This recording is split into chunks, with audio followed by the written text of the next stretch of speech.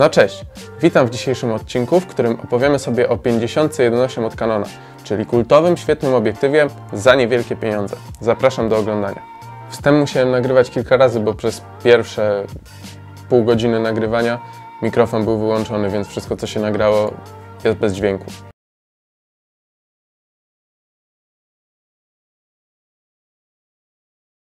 Ale wszystko już naprawione, dlatego teraz możemy przejść do tego, co czyni ten obiektyw uniwersalnym i świetnym obiektywem dla każdego fotografa. Pierwszą z tych rzeczy będzie ogniskowa. Ogniskowa 50 mm, jak już mówiłem w poprzednim filmie dotyczącym obiektywu, tutaj wyświetla Wam się karta, tutaj, nie tutaj, tutaj. I pierwszą z tych rzeczy będzie ogniskowa. Jak już mówiłem w poprzednim filmie dotyczącym obiektywu na tym kanale, link tutaj w karcie, ogniskowa 50 mm jest ogniskową bardzo uniwersalną. Zrobimy nią zarówno portret, jak i węższy krajobraz, fotografię kulinarną, streetową itd. itd. Jest ona na tyle wąska, że obejmujemy tylko wybrany element kadru, skupiamy się na detalach, ale również na tyle szeroka, że nie musimy stać 50 metrów od fotografowanego obiektu co może się przydawać szczególnie przy portretach. Nie musimy wtedy brać na sesję krótkofalówki, żeby się komunikować z modelką. Kolejną z takich rzeczy jest przysłona.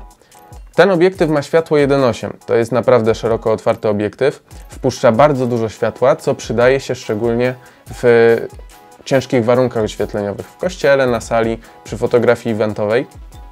Dodatkowo pięknie rozmywa tło, także do portretów jest on idealny. Tak samo do fotografowania jakichś detali.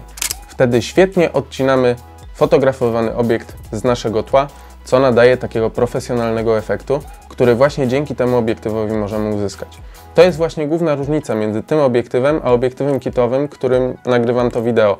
Widzicie za mną, teraz mam przysłonę ustawioną na 4,5. Wszystko w tle praktycznie jest ostre. Tam teraz dobrze, że jest ostre, bo widzicie mural, który namalowała moja siostra. Pozdrawiam Gabrysia, dzięki bardzo. E, zaraz zobaczycie go zresztą z bliska teraz na przebitce. I przysłona 4,5, którą mam w kitowym obiektywie, nie pozwala na tak piękne rozmycie tła, jak to ma miejsce w przypadku tego obiektywu. Przysłona 1,8 rozmywa tło, po prostu. Tyle. Kolejną rzeczą, która zachęca do kupna tego obiektywu jest jego cena. Obecnie kosztuje on około 600-650 zł, co uwierzcie mi w świecie obiektywów nie jest wysoką ceną. Z ceną idą również ograniczenia. Największe widać w jakości wykonania, ponieważ cały ten obiektyw jest zbudowany z plastiku, jedynie bagnet jest metalowy, lecz nie przeszkadza to w fotografowaniu, a nawet może być plusem w sytuacji, gdy długo musimy trzymać go na aparacie. Wtedy nasza ręka na pewno nam podziękuje, bo plastik jest dużo lżejszy od metalu. Kolejna sprawa warta omówienia przy tym obiektywie to autofokus. Jest on tutaj zrealizowany za pomocą silnika krokowego, wydaje więc pewne dźwięki. Może to być problem przy nagrywaniu, ale tylko wtedy, gdy używamy wbudowanego mikrofonu. Ponieważ tak jak ja teraz używam mikrofonu krawatowego, jest on na tyle daleko od aparatu, że tych dźwięków w ogóle nie zbiera. Dodatkowo autofokus jest dość szybki, łatwo wyłapuje yy, ludzkie oko, ale to już zależy głównie od aparatu. Kolejną fajną funkcją tego obiektywu jest przełącznik autofokusa. Na boku korpusu mamy fizyczny przełącznik, który pozwala nam wybrać, czy chcemy ostrzyć manualnie, czy używać autofokusa. Pozwala to uniknąć sytuacji, w której poklikamy coś na aparacie przez przypadek i ostrość zmieni się na manualną w najmniej oczekiwanym momencie. Wtedy zdjęcia na pewno nie wyjdą, a tego chcemy uniknąć. Ja się trochę nagadałem, czas więc teraz zobaczyć, co potrafi ten obiektyw. Zapraszam Was do obejrzenia kilku zdjęć i filmów zrobionych przy pomocy tego obiektywu. Zacząłem montować ten film i zdałem sobie sprawę, że zapomniałem o jednej bardzo ważnej rzeczy. Mój aparat jest aparatem niepełnoklatkowym. Ma matrycę w rozmiarze APS-C, przez to obiektywy, które do niego podłączam, mają jakby węższą ogniskową. Z 50 robi się na przykład 85, tak jakbyśmy podpięli to do pełnej klatki. Musicie to wziąć pod uwagę, jeżeli macie aparat pełnoklatkowy, wtedy zdjęcia, które uzyskacie tym obiektywem mogą się różnić od tych, które mi udało się uzyskać. Jednak jeżeli macie aparat APS-C, to efekty będą bardzo podobne, a nawet takie same do tych, które ja uzyskałem. Taka mała dygresja, lecimy dalej z filmem.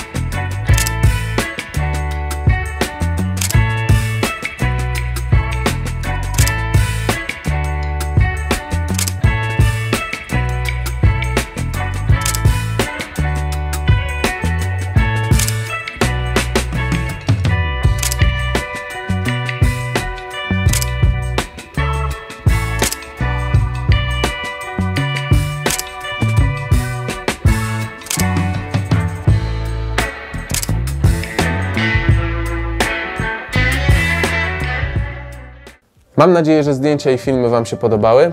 Teraz czas się zastanowić, dla kogo jest ten obiektyw. I moim zdaniem każdy znajdzie dla niego dobre zastosowanie. Zarówno w fotografii portretowej, sportowej, eventowej, kulinarnej, krajobrazowej, wszędzie tam, gdzie potrzebna jest w miarę uniwersalna ogniskowa, szeroko otwarta przysłona i szybki autofokus.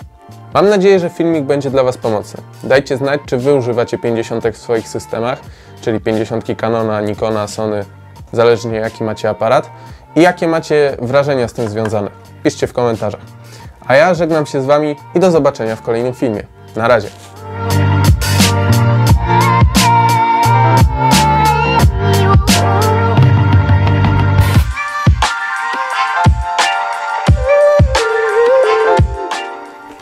A tak przy okazji, jak mogliście zauważyć, ten film wyglądał trochę inaczej.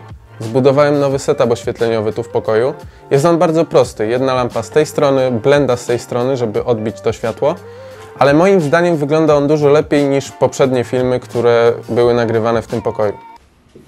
Dobra, widzimy się kilka dni później. Mamy 6 marca. Yy, I skończyłem obrabiać zdjęcia. Dajcie znać, co o tym sądzicie. Na razie.